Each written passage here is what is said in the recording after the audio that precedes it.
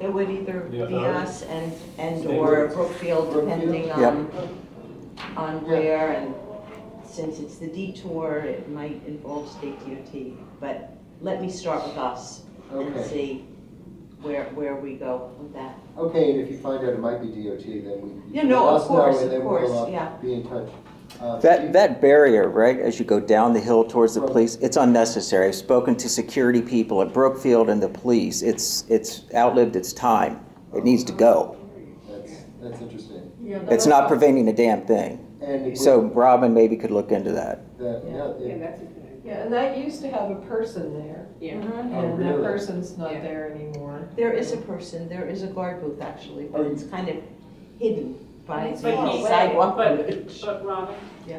that guard, who's a World Financial Center guard, will specifically tell you, I am not related to the parks, I cannot go over there and help you, because I've watched somebody get hit over there, and he says, I work, I work for Brookfield, Understood. that, that's not my area.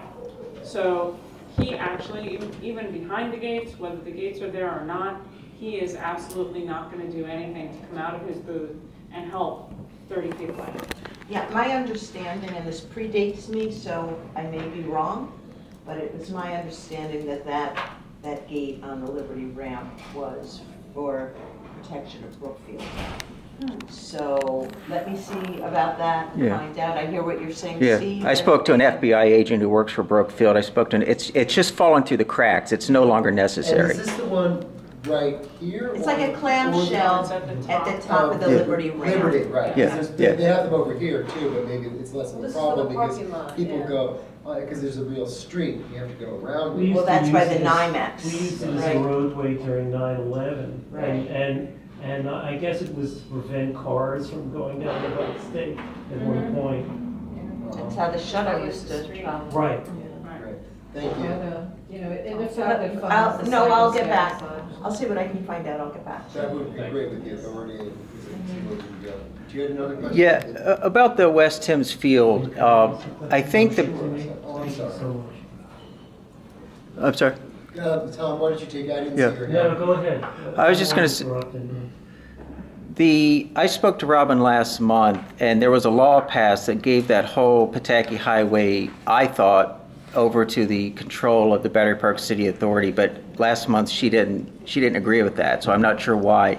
But it's leading to the parks people, according to Ed Falcon, I spoke to him, to not have the Parks Patrol patrol the basketball fields and the grass field and the rector place, and that's what's leading to scooters being stolen and drugs being dealt on the grass.